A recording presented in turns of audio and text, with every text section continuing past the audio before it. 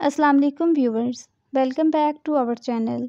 आज के इस वीडियो में हम डिस्कस करेंगे टेन मोस्ट इफ़ेक्टिव वेजिटेबल्स को जो कि यूरिक एसिड के ट्रीटमेंट में हेल्पफुल हैं। नंबर वन पे है बिटर गाउड यानी कि करेला। इसमें ये प्रॉपर्टीज़ होती हैं कि आपके यूरिक एसिड लेवल्स को कम करता है और इन्फ्लेमेशन को रिड्यूस करने में हेल्पफुल है।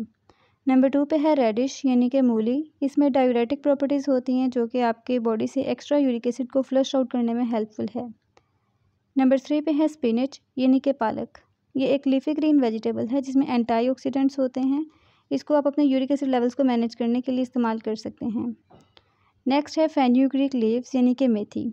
मेथी में एंटी इन्फ्लेमेटरी प्रॉपर्टीज़ होती हैं और इसको आप अपने यूरिक एसिड के ट्रीटमेंट के लिए भी इस्तेमाल कर सकते हैं। नंबर फाइव पे है ओकरा यानी कि भिंडी। ये एक लो प्यूरिन वेजिटेबल है, जिसको आप एक अपने यूरिक एसिड लेवल्स को मैनेज करने के लिए इस्तेमाल कर सकते हैं।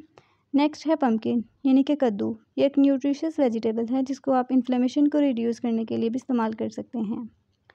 नेक्स्ट है कॉलीफ्लावर यानी कि फूल गोभी। ये एक लो प्यूरिन वेजिटेबल है, जिसको आप यूरिक एसिड फ्रेंडली डाइट में इस्तेमाल कर सकते हैं। नेक्स्ट है ब्रिंचल यानी कि बैंगन। बैंगन को कंसिडर किया जाता है कि ये सेफ़ है स्पेशली उन लोगों के लिए जिनके हाई यूरिक एसिड लेवल्स हों। नेक्स्ट है कैबेज यानी कि बंद गोभी। ये एक ऐसी वेजिटेबल है, जिसमें एंटी इन्फ्लेमेटरी बेनिफिट्स होते हैं।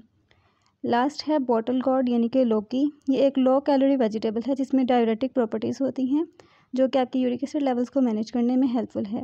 आई होप कि ये वीडियो आपके लिए हेल्पफुल होगी। Do subscribe our channel thank you so much